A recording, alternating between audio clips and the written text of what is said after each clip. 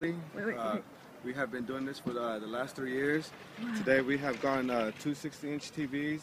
Uh, we have gotten uh, another two two 50-inch TVs, and uh, Yeah, we, we usually come here like around four in the afternoon, and we're usually like one of the first ones in lines, and we always get the the biggest TVs we can.